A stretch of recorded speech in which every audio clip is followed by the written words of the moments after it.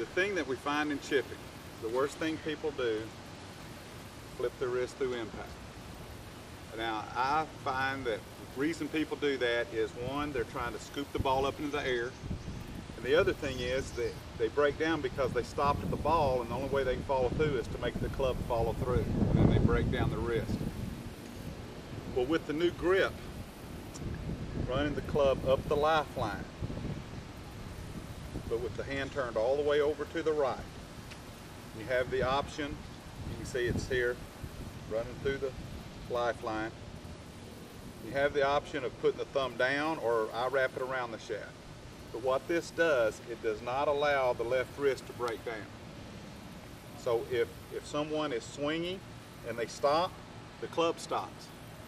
So with this grip, it forces the person to follow through. And as we know in the short game, the forward motion is what hits the ball, what makes you hit the good shot. So with this grip, and the wrist cannot break down, then we just, uh, the arm swing to the right, swing to the left, land the ball three or four feet on the green, picking the club that makes it roll to the hole. What I'm doing with the grip, it's in the lifeline, but I've turned hand all the way where the palm is on top, the lifeline is on top. This does not allow my wrist to break down. I have to swing the arms forward. So in chipping, arms swing to the right, they swing to the left, land the ball three or four feet on the green, picking the club that makes it roll to the hole. In the rough, if the ball is sitting up on top of the grass, and we've all done this where we've swung and fluffed under the ball.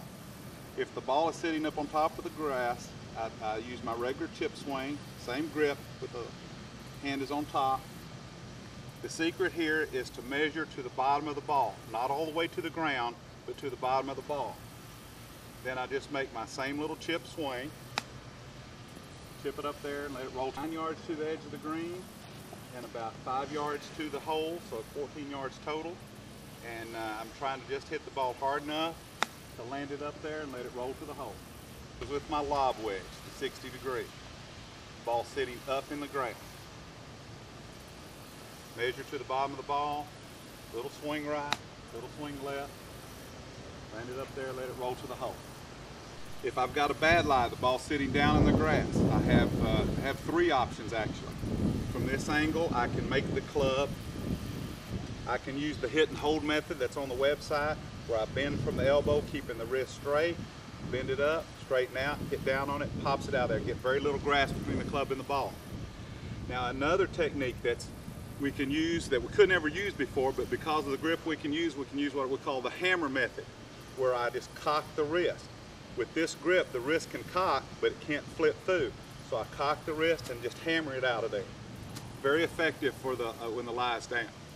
The third uh, option is what we call putting it off the toe, where we where we actually set the club up vertical with the, and, and put the ball off the toe of the club. Works, works very well out of this steep grass. Now the first one I'll use, I'll do the, the hit and hold method where I bend from the elbow. And what this allows, because the club comes up and down, I get very little grass between the club and the ball, and I can get good clean contact coming out of the, that bad lie. Now the next swing, we're going to do the hammer, where we just cock the wrist. And again, the hammer method, just cock, pop it out of there.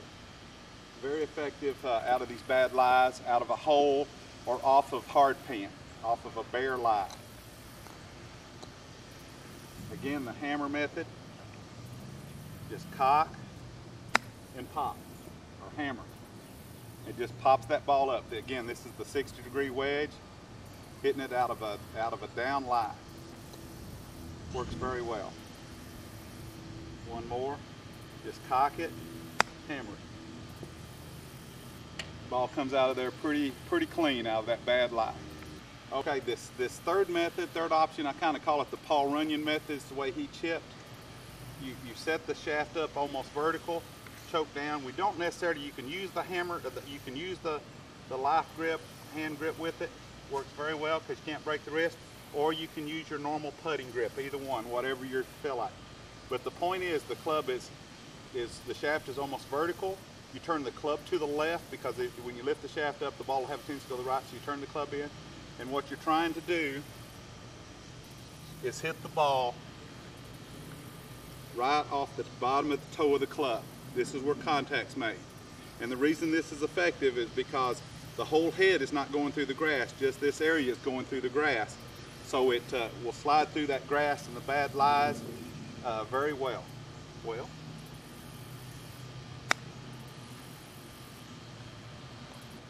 another option, it's a very safe option, using the 30 degree uh, is just to use your regular chip stroke uh, with this grip with the left hand on top through the lifeline.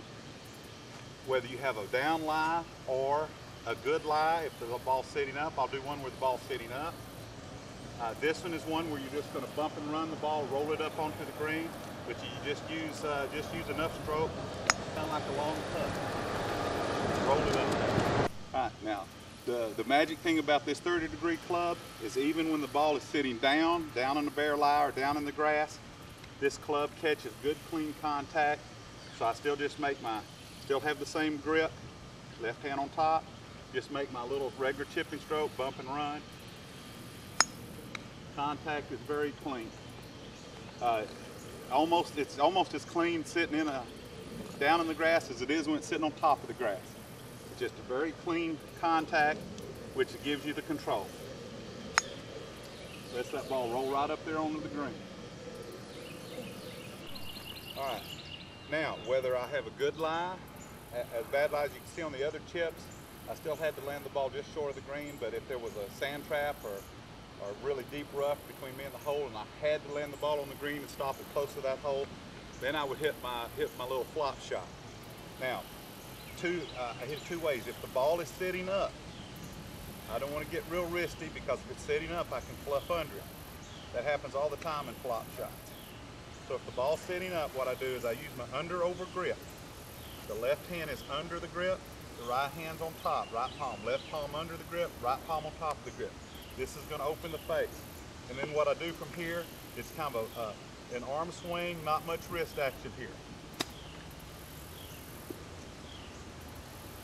and that uh, keeping the wrist fairly straight, uh, not much wrist action, allows uh, allows the club face to, to catch the ball solid, not fluff under.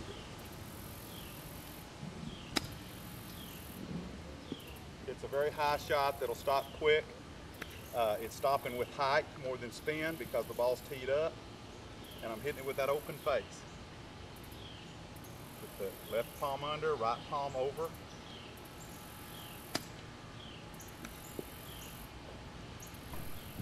even down in a hole or down in the divot, down in deep grass. Then I use the under over grip, and this is where I pull the elbow back, cock the wrist up, and then I do what we kind of call the saw motion, where I kind of feel like I cut across or pull toward me, pull the club head across the ball, like a swing to the left. So this is more wrist action, more elbow motion. Uh, left, el uh, right elbow goes back, wrist go up, It's all across it. It's a very high shot, more spin, gets that ball up out of the deep grass, gets it close to the hole. I'm aimed just a little bit to the left, got the, the under over grip, elbow back, up, saw across. This is the, uh, again, the flop shot where I've got uh, very little green to work with. Got to land it on the green. I've got a good lie, the ball sitting up. This is the shot, under over grip, left palm under, right palm over. Uh, when the ball's sitting up, it's more of a turning motion with the body, trying not to cock the wrist. That keeps me from sliding under the ball. I measure to the bottom of the ball, aim a little bit to the left, and just uh, make that turning swing. Measure to the bottom of the ball, Try not to get much wrist action. That keeps me from sliding under the ball. I get a very high shot, stops very quick. Even though there's not a lot of spin on this shot, it, uh, it goes so high, it's so high that it, when it lands, it doesn't roll. Do one more if I can get to sit up in the grass. Okay, under over grip, aim a little left, no body mode, no wrist action. When the ball's sitting down in the grass, down in the hole, down on bare dirt, like we get here in the winter on dormant turf, again, left palm under, right palm over. This swing, I, more wrist action. I pull the elbow back, up, saw across the ball. This gives me that flop shot. The under over grip gives me a flop shot. I'm aimed left to the hole a little bit. Elbow back and up. Saw across. Very high shot. Good contact out of a bad lie. Aim a little left, under over grip. Elbow back, up, saw across extremely safe shot. Shot ball sitting down in the grass. I'm downhill to a downhill light, to a downhill green, uh, fast green. Uh, I've got to stop the ball quick. Again, here's where I use a little mini flop shot. I'm using the under grip. I'm hitting a little mini flop shot. Elbow, elbow backing up, saw across it. Only it's just not quite as big as the regular flop shot.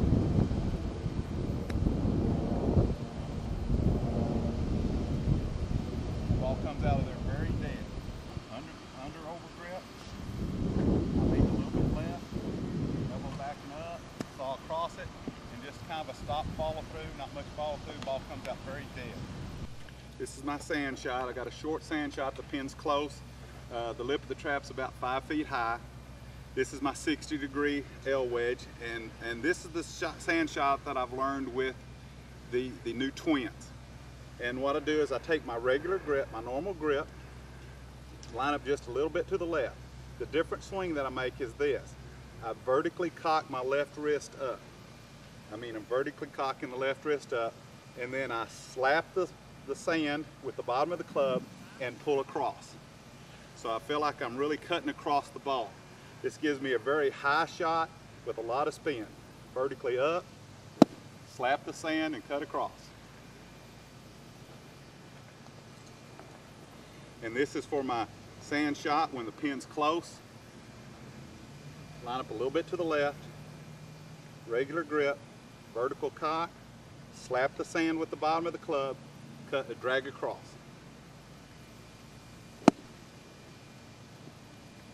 Okay, again, same little sand shot, 60 degree wedge, regular left hand grip, regular grip, I'm actually playing the ball two inches forward of center. I'm hit two inches behind it. I'm getting a vertical left-hand wrist cock like this. Hitting the sand with the bottom of the club and dragging across. So I feel like I'm really cutting across the ball. Gives me a very high sand shot, a lot of spin.